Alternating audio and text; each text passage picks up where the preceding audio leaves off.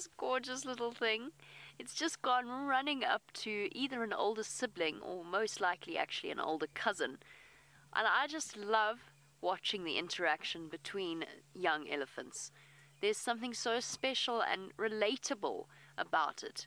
They really truly are like small children in the way that they interact with each other, and you can see the friendships and the bonds and the playfulness of their behavior. That to me makes them extra specially endearing. Look at this! What you doing? Oh, you cheeky monkey. Knocking each other around, pushing, shoving, all part of developing some seriously important social skills. Now, I'd love to go and catch up with them, but as you can see, there is a very large female over there, and she's pregnant. And you know what they say you don't push a pregnant lady. Um, obviously not physically, but just emotionally. I'm not going to, in any way, shape, or form, infuriate her. She's quite heavily pregnant. I know, big girl. I know. Sorry, I'm not calling you fat. You're beautiful. But you are pregnant. See, she's bulging out at the sides. I wouldn't say she's late term. I'll say she'd mid term. She probably still has another few months to go. But I imagine that carrying a baby for 22 months that eventually reaches 100 kilograms, I imagine that would have a somewhat of a, a profound effect on one's mood. And I'm not inclined to test that theory. So we'll let her wander along and then we'll go and catch up with those babies as well. Oh, Ellies, I love Ellies. I could spend the rest of the day here. Maybe I will. You can actually quite easily. It's one of the easier tracks to do that with. Uh, I don't want these elephants to disappear, but Dee, I promise you, don't go anywhere. After we're done with the elephants, I will jump out and I'll draw an elephant track for you and I'll show you just how you go about determining which direction an elephant is moving in. Know, big bull off to my right there.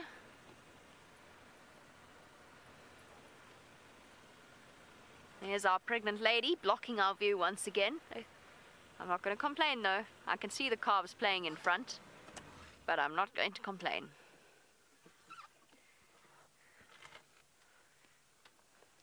Oh, I'm very sorry. I do apologize. I can't hear your name, but we do have a question asking about elephant birthing processes. Alice is trying once again to let me know what your name is. All I'm hearing is live. What are you hearing? Ah, Zaz. Zaz doesn't sound anything like live. How did I get that wrong? Sorry, Alice. And Zaz. I'm sorry. Zaz, you want to know if elephants will give birth out in the open? Yes, they can do. Um, it, the amazing thing about an elephant birth process is the way in which the entire herd forms a protective circle around the female in labor. It's not like something like a buffalo or an impala or a wildebeest that will take herself off somewhere quiet and isolated to give birth. The whole herd is involved in the process. They're anxious, they're worried about the female. I, I believe they're worried about the female. I've seen it in their behavior, and it's very, very clear. And they will be exceptionally protective of her and of the new baby. And when she does give birth, they will go and all greet and comfort the baby as well. Hello, big boy. The one thing they'll also do is keep bulls like this one at bay. So the older females, the matriarch, and the higher ranking females, they'll actually basically block any males that are in the area and ultimately try and chase them away from a female giving birth. It's an incredible process. I've seen some amazing footage of a, young female elephant that gave birth in the Olifants River, which admittedly was a poor choice in, in labour places, but perhaps she was going for the whole water birth trend. But it, I think she was just a young mother. Labour happened and she dropped her calf in the Olifants River.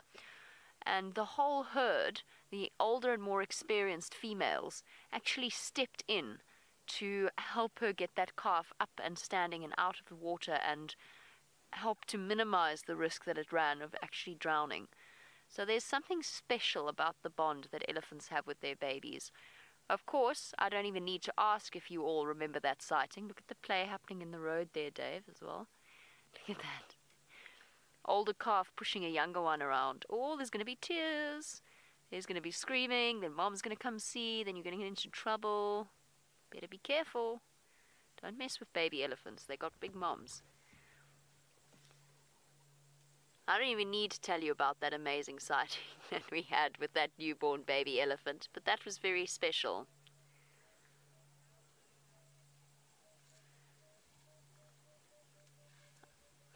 Cute. This is so sweet. Interactions. This is what I love about elephants as well, is the responsibility that the older calves take with the younger ones in terms of babysitting and mothering them and oh yep that's definitely more your size. Keeping an eye on them. It's so special. That's probably a young female at the back there that is marching in to act like an older sister essentially and split up the fight. Oh no actually i take that back. Participate in said fight. Ah it's a little male. It's not a female the, generally speaking, the female calves will actually take responsibility for the younger calves. Oh, cute.